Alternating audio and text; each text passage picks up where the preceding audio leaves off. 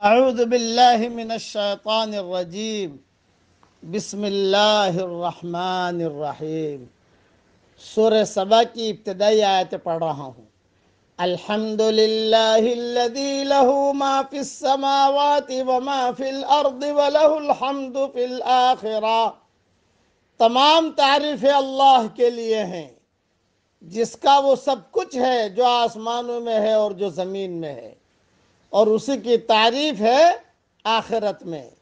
वह हकीमुल खबीर। और वह हिकमत वाला जानने वाला है।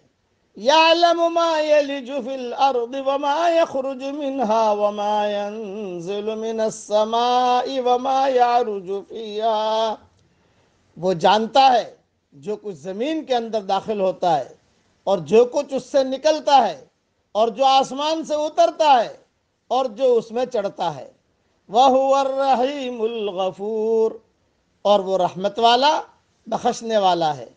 वकाल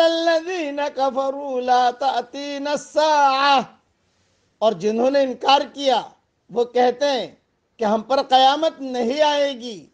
कुल बला रब्बी लतातियन्नकुम आलिमिल गैब कह दीजिए, क्यों नहीं?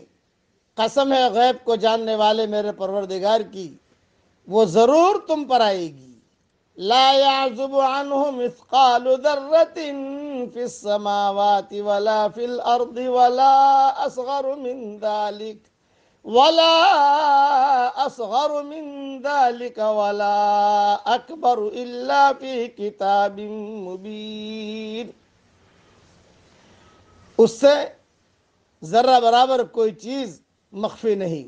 ना आसमानों में और न ज़मीन में। और न कोई चीज़ उससे छोटी और न बड़ी। मगर वो एक खुली किताब में है। लिए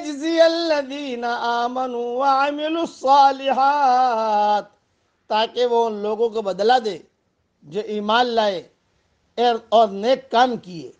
उलाइक लहुम मगफिरतुन व रिज़्क़ुन। करीम। यही लोग हैं जिनके लिए माफ़ी है और इज़्ज़त की रोज़ी। यानी उसकी मिल्कियत में और तसरफ में है, उसी का इरादा और फैसला उसमें नाफिज होता है।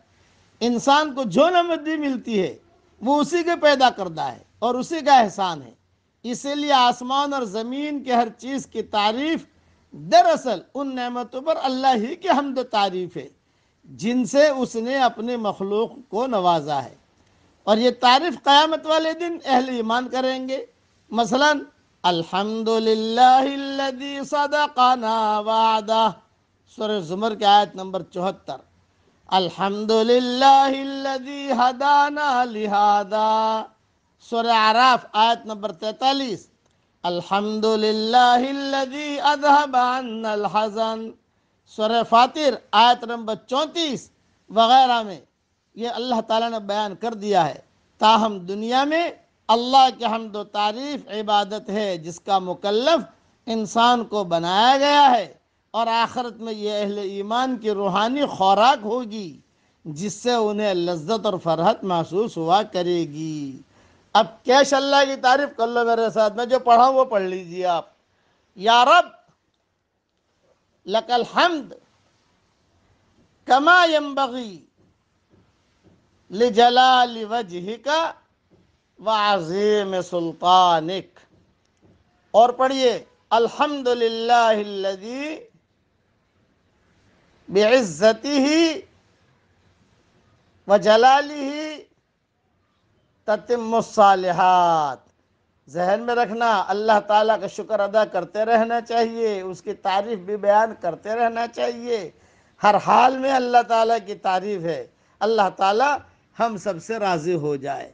आमीन। वाखर दावाना अलहमदिल्ला रबालमीन